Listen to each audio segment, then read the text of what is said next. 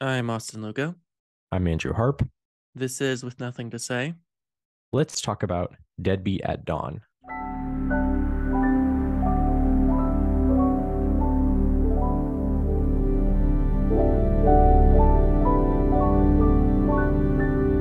Before we get started today, next week we're being watching The Grave of the Fireflies. I wanted to Mhm. watch an animated film because we have not watched an animated film for the podcast in well over a year now, and I probably haven't watched an animated film myself in well over a year. I can't think of the last animated film I've watched. What's your last animated film? You saw that uh, Pinocchio movie, right? Oh yeah, it's not animated though. That's claymation. I feel like that's It's animated. different. I No, mean, it's not different. I think it counts. I guess it's made by the people who did uh, Fantastic Mr. Fox. Everyone looks like puppets. It's disturbing. We'll talk about it. I think it counts, but maybe you haven't seen a handmade 2D animated movie in a while. I've probably seen a couple other animated films. Honestly, I just haven't thought about it. Like some something with my sister or something. Mhm. I don't know. But anyways, that's what we're gonna watch next week. So get excited. Yeah.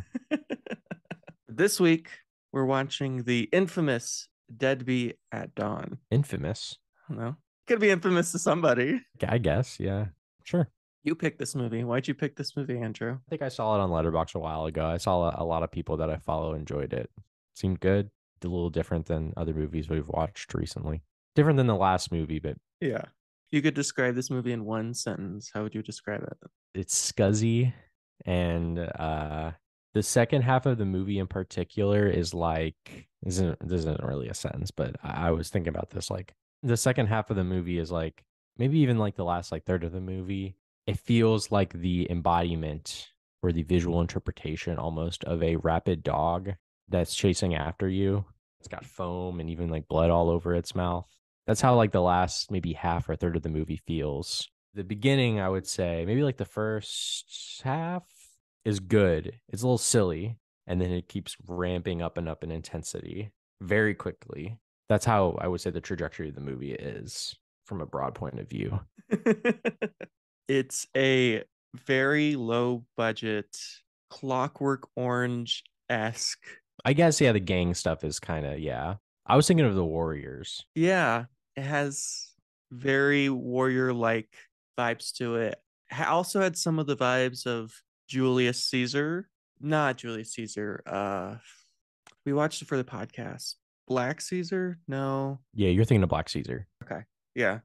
I kept thinking of that movie for whatever reason. this movie feels like Jim Van Bebber, who is the writer, director, star. It feels like he saw the Warriors and Mad Max and it was like, yeah, I'm going to make that in Dayton. I don't know if he's from Dayton or not. He was at least probably living in Dayton at the time. Yeah. The movie's filmed in Dayton, Ohio, which is amazing. I love So scuzzy. it's such a dirty fucked up looking city. Obviously like they're probably scouted like those locations right? Like the most the worst Sure. places. But there's like no green there's no grass there's barely any trees everywhere that they go. It just looks kind of shitty. No offense to people from who live in dayton ohio. I'm sure it's a wonderful town, but anywhere in the Midwest in the middle of the winter is a bit scuzzy, a bit miserable. I mean, I don't think you see the sun once in this movie. It's just cold and cloudy and crummy everywhere. the movie also doesn't have a sunny disposition i'll say that i'll say that. But yeah I, I love the location i love the dayton ohio locations it's perfect. The location scouting that they do and the places that they go it looks as good as any like walter hill you know streets of fire warriors movie. It's obviously low budget so it has that going for it. It's not as like fucking you know vivid as like the warriors or streets of fire but the look of the movie in terms of like where they go and the spaces that they use they look about as good, I would say, given their limitations. Absolutely. And the movie opens on the protagonist's girlfriend, partner, person at a fortune teller or tarot yeah, card this reader. part of the movie is interesting. Yeah. there's this sort of mystic thing going on, which I thought would be more involved in the movie. Like I thought there'd be more mysticism, It's more in that when she's alive, right? Because she's in it, into Yes. it. but there's no real mystic aspects to this film other than some of the stuff that she does, other than going to see a fortune teller and utilizing the Ouija board. And the scene when he goes to sleep in the cemetery later on, too. when he dreams. It's a dream, but still. That's true. That dream sequence is pretty rad.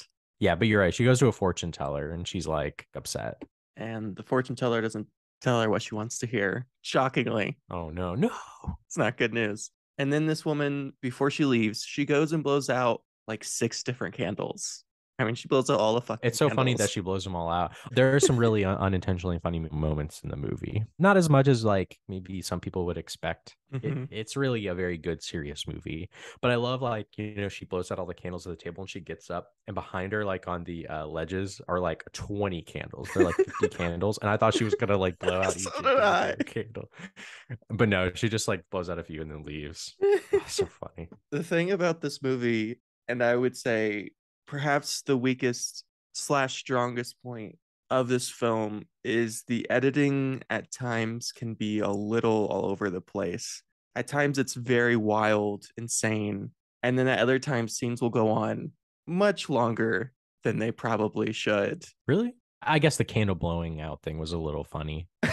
I mean, I think there's a couple of scenes that are candle blowing esque in which, not that it's bad by any means, but just that it's a bit amateurish. You know, young filmmaker, student filmmaker stuff. I'm thinking of like maybe like a scene or two as well that are just kind of like thrown in there. Like there's that one scene, remember, where he steals that guy's motorcycle. Yeah. It's not really that has anything to do with the, the story or anything. It's just he's just kind of messing around, I guess. Like he's having fun stealing people's motorcycles and stuff. Maybe it was to uh, introduce the fact that he's really good at using nunchucks, that scene, but it's still kind of like thrown in there. This man has the greatest nunchuck skills possibly of all time. Bro, I was just thinking about this. Like, nunchucks are kind of like a lame weapon, right? Like, you see him and you're just like, what the, like, what, like, how can you even use that? In this movie, though, it, it is legitimately cool how awesome they make him look and how powerful he is with the nunchucks. It's amazing. I've never seen that in any other movie. I can't think of one. I haven't seen like a lot of martial arts movies. There's probably some martial arts movies that really are probably way better than this, Yeah. but he's good. he, he like hits people in the head and stuff. So good. That would hurt. I have never seen anyone utilize nunchucks to the degree that this man does in this movie. And just his karate skills in general, they're almost superhero esque. He's really cool. yeah, I mentioned like the Warriors and Mad Max and stuff like that. Like that were influences that are clearly influenced, especially like the last part of Mad Max where he gets revenge and first half of the movie reminds me of the Warriors with the silly gangs and stuff. Martial arts movies are probably another big influence on him. I would have to guess. yeah, this man has clearly studied the many martial arts. I mean, it's impressive, yeah, he's cool. maybe a little over the top at times. But I do think at times there are scenes in this film, like the motorcycle scene, where they're just trying to fill up space so it can be a feature length film. I think this film might have worked better as a 60 minute film. I mean, it's not long at all, it's only an hour and 20 minutes. So it goes by pretty quick. But even so, There's like one or two scenes, maybe. I think we could make the pacing even faster here and just be like boom, boom, boom. But that's just me. I would say that the pacing really ramps up once you get into like the last half or third of the movie. That's where like things are kind of like incredible. And, and we'll get to that. We'll get to that. I like the scene in the beginning where they go to the cemetery to fight. that scene is very silly to me. It's a wild scene. They basically are going to do a 1v1. Battling gangs. The spiders and the what was the I don't know. Goose is the main character. I'm trying to think of the gang that Goose is in. I think it's called the the Ravens. So the spiders and ravens, they're doing a 1v1, kind of the leader of each. Yeah, the evil guy with the mustache. The evil mustache man. and first they're going to go 1v1 classic dual style guns, but they're like no. I like that they have like these Civil War rifles. These like World War II rifles. yeah. Sorry. Continue. But instead of the 1v1, they decide that they are going to fight it out via knife. And they just cut the shit out of each other. I mean, they're just throwing their knives. It's a good introduction to the violence of the movie. I would say so. They cut the shit out of their hands and faces, just every part of their body. Blood's going everywhere. It's a good fight. I'd say so. It's so fun. Oh, another funny thing. I like the cop at the beginning, remember, that stops him from attacking and assaulting Goose's girlfriend. Yes. His cop outfit is so funny. It doesn't look real at all. It just looks like No. a costume. and but that's fine. That's fine. That's forgivable. Anyway, Yeah, Goose wins. I guess so. He was the last person standing, He doesn't lose. But he has to like go back to the apartment and heal because he's been like stabbed a couple times. Brutally. He's like pouring like alcohol all over himself, and his girlfriend is helping him and all that, and he has to endure this horrible like pain like in his hand and stuff. Like it's kind of uh brutal. I definitely vibe with all of the outdoor scenes. I did think they did some great Yeah. location scouting in Dayton.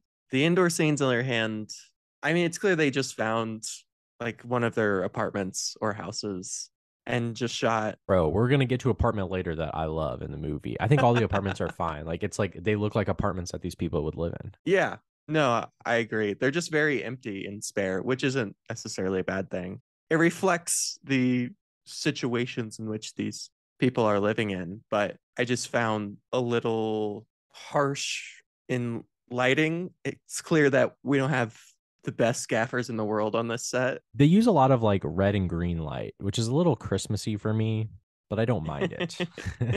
like it's a little too like it's either like kind of like harsh light maybe from like the room itself or like the sun or like these like red and green lights, which I think they use to its effect. But yeah, it's uh it's hard. I mean, it's not a big deal at the end of the day. It just makes the film look a little amateurish, a little student film esque. but I love how the apartments look. Like I love just like everything looks like completely fucked up and it does. they like live in squalor. It's it's lovely. And Goose and his girly friend are not getting along. They're getting in fights. They're pissed at each other. They're angry. He wants to do gang shit. He wants to be a gang member guy. And she's like, like, can you stop? Don't do that. No, don't do that. And he after he's healed, he's like, I gotta go check out the streets or whatever. And she's like, That's stupid as fuck. You're really dumb. And he's like, whatever. And he leaves. And then he goes like on these little like he steals a motorcycle. It just kind of like does nothing for like Yep. a few minutes. and he practices nunchucks abilities in the cemetery.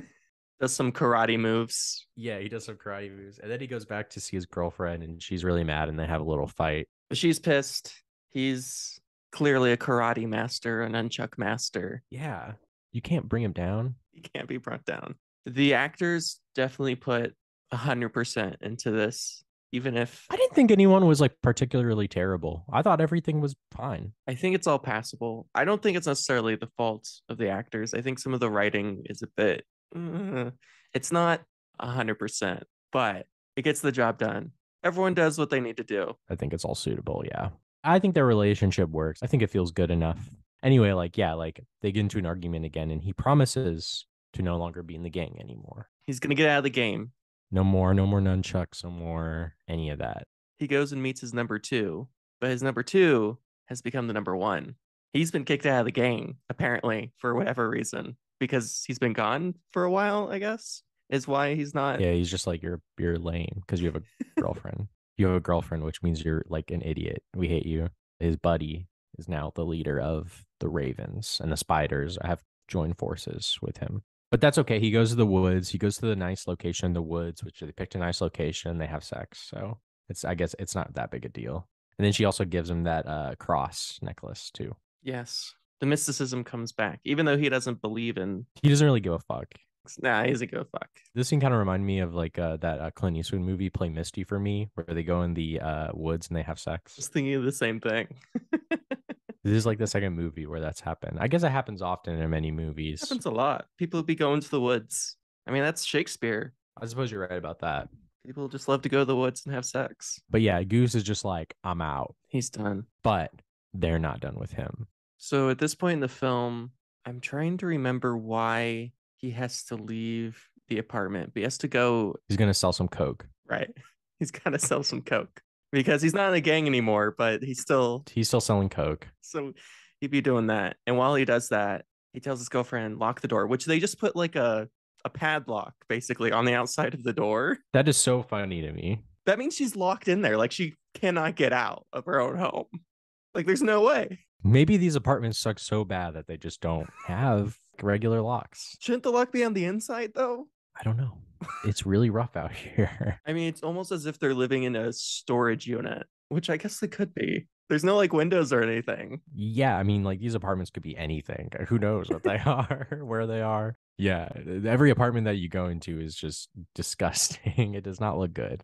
But he leaves and she does her Ouija board thing. And she's like, is, is he going to die tonight? Is someone going to kill him? That's such a good ass scene. It's one of my favorite scenes. Ouija board's like, nah, he's good, man. What about me? She's going to be brutally murdered. You're like, ah, shit. And right before that, too, of course, it ramps up to the guys breaking into the apartment because the evil mustache guy tells two of his dudes, like, kill Goose. And they're like, okay. And then he like punches his pregnant girlfriend. Remember that? Yeah. Which is a very random kind of scene that never pays off or anything like that. It's just, I guess, to show how evil and like not nice he is. She's like, I'm pregnant. And he's like, wow. And then he punches her in the face. Whatever, I guess.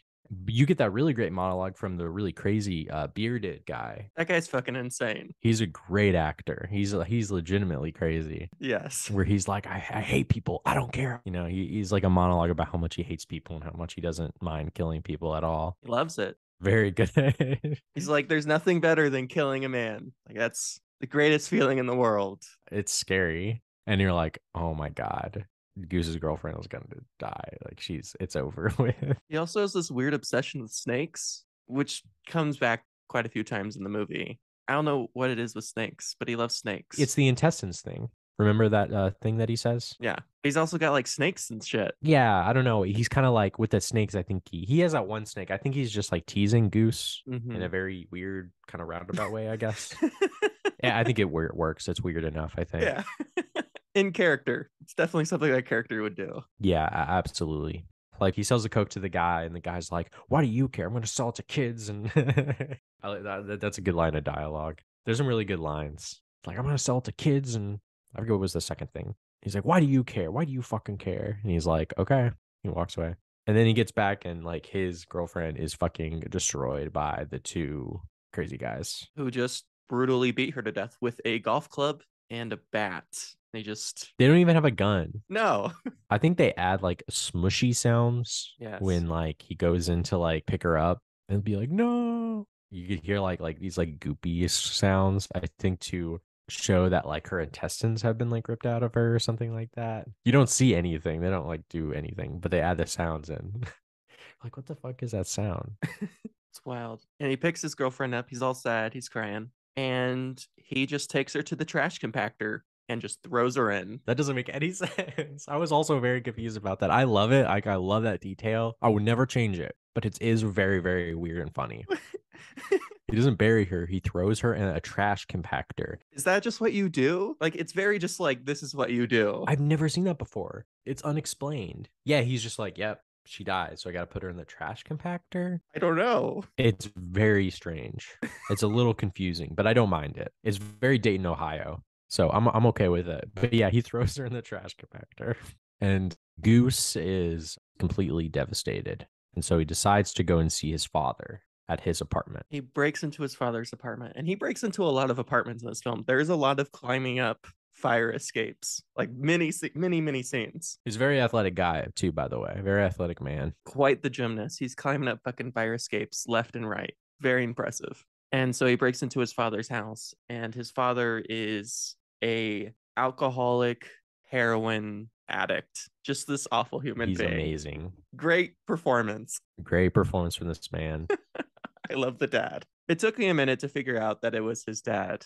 You have to take a bit of context from things, but you get it. he says dad, but you know, it's it's, it's a low budget movie. It's kind of hard to tell. And yeah, he's just like, I need to stay here, dad. Da, da, da, da. He's like, you got money, you got money. Like, and then like he'll he gets heroin. He's like shooting up and stuff. And I like the part where he's like, Dad, you really want to know what happened to me? My girlfriend died. And he like tells the whole story about how his girlfriend died. And then his dad is like, Do you have any money? like, he doesn't. He isn't paying attention. he gives a very good heroin addict performance where he's just like, I don't I don't give a shit about anything. Like I'm just here for the heroin, man. Just here for the money. yeah, please, you have some money. Please, I need it. Yeah, I like when he's like busts into his room while he's sleeping. He's like, You can't ask any questions. I need your money. That's a it's a crazy performance. It's a really good performance. Really great character. It's sad. yeah. And this apartment too is particularly scuzzy. Such a gross apartment. And this man, It's like an abandoned apartment. ugh, yeah. And he puts a needle between his toes because that's what heroin addicts do. It's gross. So gross. That makes me cringe. Ugh, yes. I hate watching people put needles and I don't like it. I don't like it. I don't like it either. It's particularly gross because when he does it, blood splurts out. Yes. Oh god. Oh my god. They really nail it. How like cringy it is. Ugh.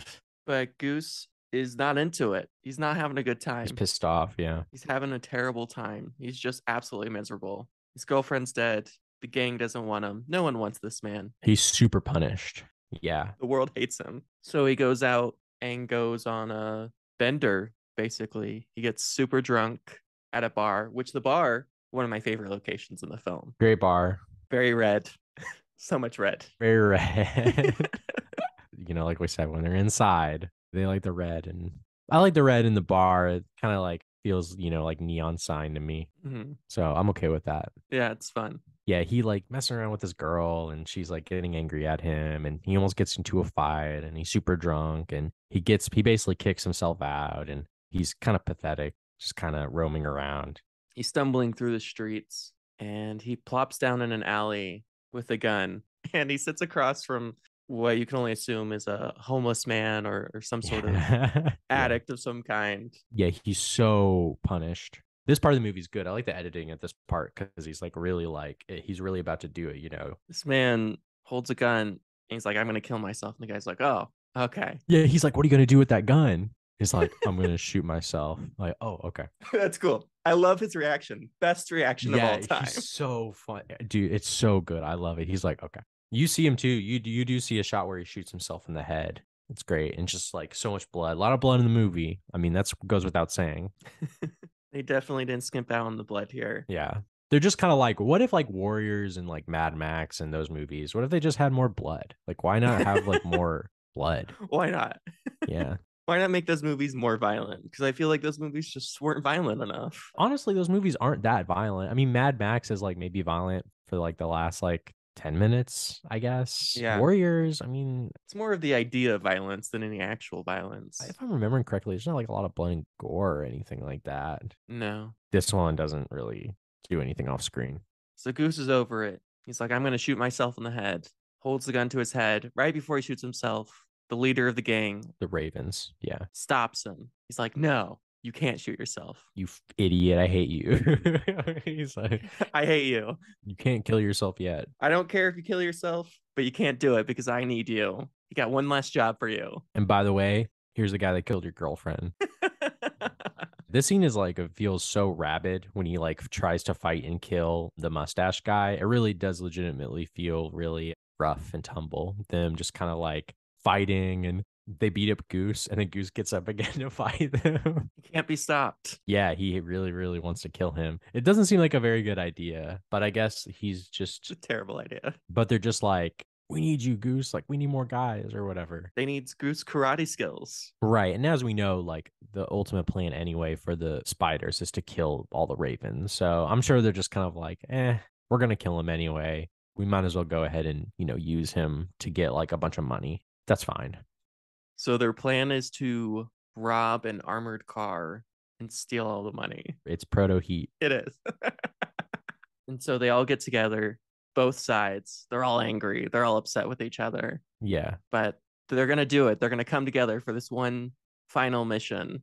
And they go over the plan, kind of. They vaguely go over the plan, but everyone's got their part. And then they rob the armored truck. Goose pulls out some ninja stars. Yeah. I don't know if Goose kills anyone. He throws the ninja star at the guy in the head. I mean, I don't think it kills the security guard. That was a but gang member. Oh no, no, I know what you're No, talking about. no. Yeah, I know what you're Yeah. talking about. Yeah, yeah, he yeah, yeah, fucking yeah, yeah. ropes down throw- from like the you're top right. of I a forgot about- building About that. and pulls out one of his many different. He's got he's so cool. He's got all of these weapons. That really did look like he propelled down. It really did Yeah, look like it. no, at I least like yeah, at least like two or three, four stories. It's very impressive. This man fucking tied a rope. And that moment of the movie is like ten seconds. Yeah, It, it looked dangerous, and you know he, he he really did it for that shot. It's amazing. he propels down and he throws a ninja star right at the security guard's forehead. Perfect shot. And all the group comes in and they fucking murder the security guard. A couple other people get shot and killed. And they take the money. Like it's it's a very quick, just like we did it. Like they just go and rob it. It just happens I like to they steal a hundred thousand dollars. It's like oh in one bag. It's just kind of funny because it's like, oh, I mean, only a hundred thousand dollars. Like, guys killed like two people, and Well, inflation. I guess, yeah, a hundred thousand is quite a bit, but I don't know. I feel like even at the time, whatever. Anyway, they're celebrating. They're having a good time. They're at their like den that has like Mhm. Playboy pinups and like graffiti everywhere. And Goose, you know, he's kind of like apprehensive, right? Because he's he doesn't trust the spiders. And you know, his buddy, the leader, is just like fucking idiot. Like you shouldn't worry. You know, It's all gonna be okay. yeah, whatever. But we do know that their plan is to kill the Ravens. Kill every single one of them. Mm-hmm. They split up into their two areas, and now they're going to meet together to split up the money. I guess. Yeah, but they're going on the spider's turf, and Right. the leader of the Ravens is like, we can't bring in weapons. Like this is supposed to be a friendly, you know, trade off. They hand us our half the money, and all goes away. So no one brings weapons except, of course, Goose, who is just packed to the brim. Yeah, he's got he's got so many stuff. he's so cool. He's like, I'm packing. He doesn't trust anyone.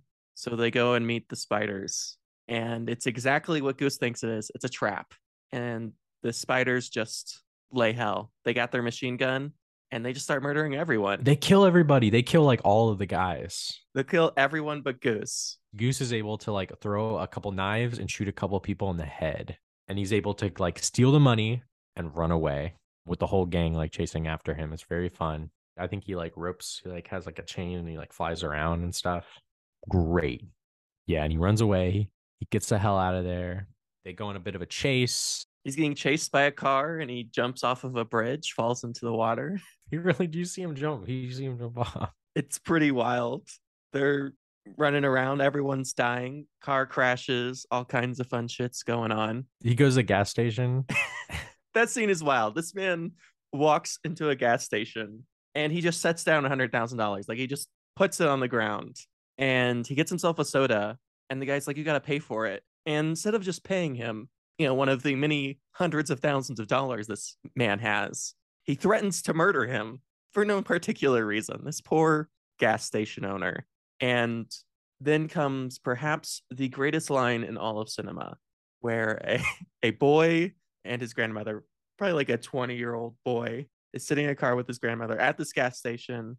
And the boy says to his grandma, he says, Grandma, give me your gun. Shoot him in the head. What a wild moment. just completely i guess it's Out just like nowhere. things in, Dayton, things in Dayton really suck lately like everybody is like on edge and super violent you know you, you could, could get shot and they kill the attendant they kill the guy working at the gas station They murder him. They murder the hell out they're of him. so funny like, they're like shoot him in the head and, and Goose runs away. that seems a little silly but it's good yeah goose is like oh fuck and he runs away he, did- well he doesn't even say anything he just leaves And then the scene after that, also another very strange scene in the film.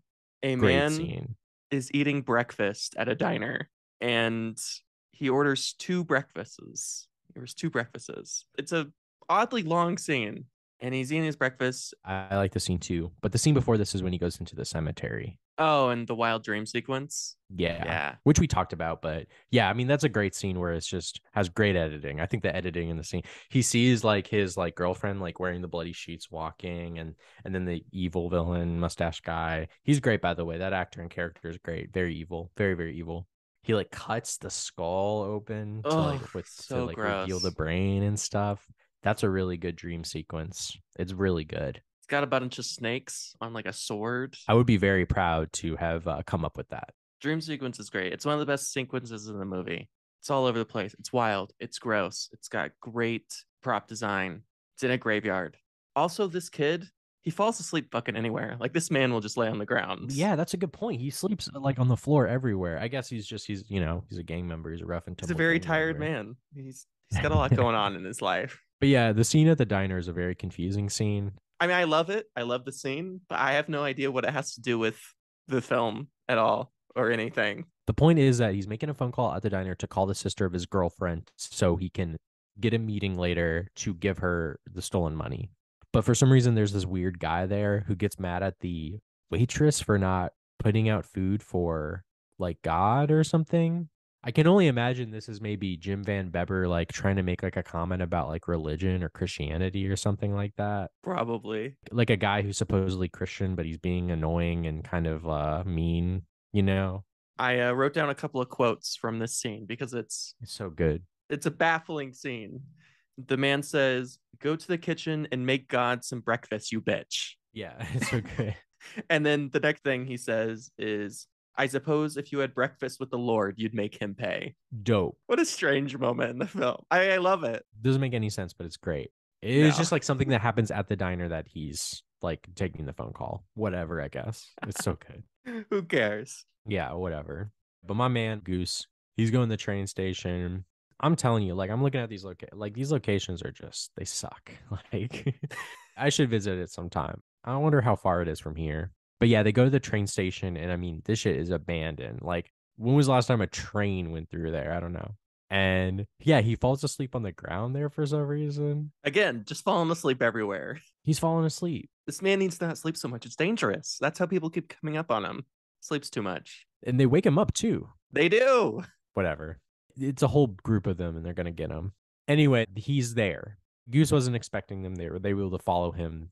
And I would say like the last part of the movie is quite amazing and exciting. It's a blast. And they really go all out. He is surrounded by the evil goons of the spiders, and they're ready to murder him. And they all have their own separate weapon, right? They all their own expertise in whatever weapon or fighting style. But they are no match for Goose and his plethora of nunchucks and ninja stars and knives and other weaponry. He's so cool. He beats up everybody. He kills awesome. everybody. It's great. I love when he fights with these nunchucks and he like strangles that guy with the nunchucks. He doesn't even yes. he like brutally strangles that guy and like blood is everywhere. He goes crazy. he goes ham. Yeah, I love when he kills um the crazy guy that killed his girlfriend. That is so satisfying when he like he throws him off the bridge. it's so good. he throws him off the roof and for some reason they decide that when he hits the ground he's going to get run over by a car and decapitated Yep. I love that. That is so good to really nail in his death. Oh, it's so good. It'd be one thing if he just fell off the bridge. No, he has to get hit by a car too when he falls. and you watch his super bloody head just roll away and you really see the progression of the fighting because like Goose is getting more and more like caked in blood. Like his face and everything just gets more and more fucked up. yeah All the fighting is great. And eventually his girlfriend's sister eventually shows up in the car. And then the the mustache evil guy, like he like pushes himself into the car and is driving away. And you have that crazy scene where he actually did. There's some crazy physical stuff that Jim Van Bebber does in the movie. He like puts his arm through the window and he like I think they probably tighten it as tight as they could on his arm. And he's like kind of like there, like holding up, and they're driving around like pretty fast, like through these like alleyways and I mean, that's really him, you know. that's wild That's not like a stunt double or anything like that. no no way no this man throws himself basically onto a car and they drive the car into an alley and they're swerving and then his arm gets all ripped up there's like all that fucking blood and all of that Ugh. shit and the girlfriend's sister comes to the rescue and does uh, multiple punches right to the penis yeah. weird moment yeah, and then they have a fight. Goose and the and the villain have a fight. It's a really good fight. Kind of reminds me of a John Carpenter movie. lots of stabbing yeah, lots of he stabs Goose several times. He like bites off his finger. yeah I watched a movie not too long ago where like someone rips somebody's throat out. I'm trying to remember what movie that was though. Oh, I think it was uh, MacGruber. He's constantly talking about like ripping some. Oh no, what you know what it was? It was Roadhouse. In Okay. Roadhouse, they talk about the fact that Patrick Swayze's character can like rip somebody's like throat out, and uh he does to like one of the main villain guys. He like rips his throat out. By the way, Roadhouse 1989. This movie 1988. They took it from them. damn that'd be a great double feature Yeah, both movies great. Both movies have uh, throats being ripped out. But yeah, he rips out the fucking throat of the guy, and it, there's just blood everywhere. I've never seen that before. I've never seen a movie where someone just rips out another man's throat. I didn't know you could do that. I didn't know you could just. I mean, think about it. Like, I mean, I guess I don't know. if you really, really wanted to, I think you could. But I mean, that would be that would be horrible. Yeah. I've seen two so far. I can't think of a third movie. But yeah, I've seen at least two movies where a man gets his throat ripped out. It's wild. and then yeah, he just dies. And then he just dies. He tells his sister like, "I loved your sister" and stuff, and then she runs away completely mortified. Of Can you imagine being that woman? Can you imagine? It's so funny. like just getting a random call from some guy who's like, "I know your sister." It was some guy. She doesn't even know who the guy is. no, She's like, she has no idea who it is. She hasn't talked to her sister in like two years. yeah, and she's like, okay, yeah. And then she witnesses the most the most abject violence of all time. Yeah, she she gets a random call from a stranger. She shows up and accidentally hits a man with her car, then gets Yeah. kidnapped, then punches a man in the penis, then watches two men beat the shit out of each other, murder each other, then watches a man rip the throat out of another man, and then watches the other man die, and is just handed a hundred thousand dollars, which she is. Of stolen money. How do you react to that? What What are you supposed to do? She just runs away. That's it. Imagine just being a normal person, just living your life. There's really like no. Um, no, that's the end of the movie. That's it. Yeah, that's the end of the movie. He he basically walks away and he like lays on the ground and he just dies. He just dies. he just dies. Like, yeah, it's just a sad ending where he dies. So that's pretty much the movie. Everyone dies. Like pretty much every character dies. Yep. Except for the sister. They do that little cool thing where they have those like black and white photographs or whatever at the end. That was kind of unusual but cool. I had no expectations going into this movie. I didn't know what the movie was really about, other than the little that you told me, which is always the best way to go into a movie. I think going to a movie blind is the best experience to have, especially with a film like this. Very low budget, just kind of people doing their best, shooting movies in Dayton, Ohio. Always fun to see. Just a bunch of no name actors and people just really trying to make a movie. And I really respect that. I really love people out there just doing what they can, especially in the 80s when like shooting a film was so fucking hard and yeah, you had to fucking cut the actual film. Like there's just so much respect in making any sort of movie. I don't think the movie itself for me was anything spectacular. I think some of it is very wild and insane and definitely some great special effects, especially for the budget. And clearly everyone's putting their heart and soul into this. As I mentioned earlier, I think it's runs a little long. There's a couple of scenes in this that just don't really go anywhere or don't really add anything of value to the film. I think the film could have been cut down to a solid 60 minutes. And because of that, I found myself, especially in the first half of the film, just a bit bored.